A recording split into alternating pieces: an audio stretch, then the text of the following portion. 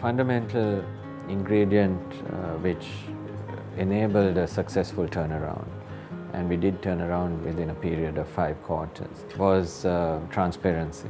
The courage the management had, the entire management team, to face the problem, admit the mistakes, go before every member of the team and take accountability for the problem as the leadership.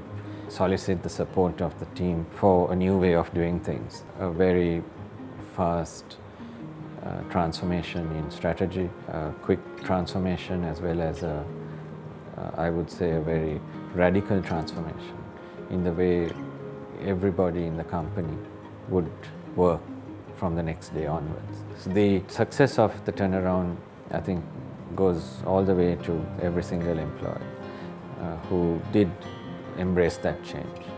I think that was career shaping for me, matured all of us who were involved in that process, and I must say, key players in this were also the Axiata group, which uh, displayed a lot of wisdom in the inputs in terms of advice, in terms of patience, in terms of uh, critical thinking, all the way from Tan Sri Jamal to uh, colleagues in the Axiata management as a shareholder. When you're in crisis, uh, you can either resort to denial and look for excuses for why it happened, or you can look at every single thing that you could have done better. Look introspectively and encourage your team and the wider ecosystem to look introspectively as well. And I strongly believe that that's the fastest route to solving a problem.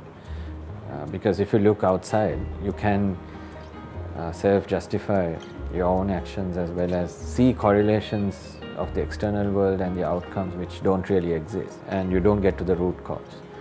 And the root cause is always, could you have done something better and why not do that uh, from tomorrow onwards. It also questions your own ability and that can be somewhat destructive to self-confidence.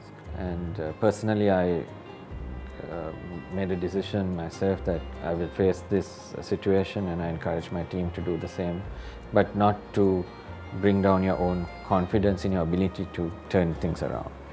Uh, ability is different to accountability. You take accountability and then you must be confident you can do it.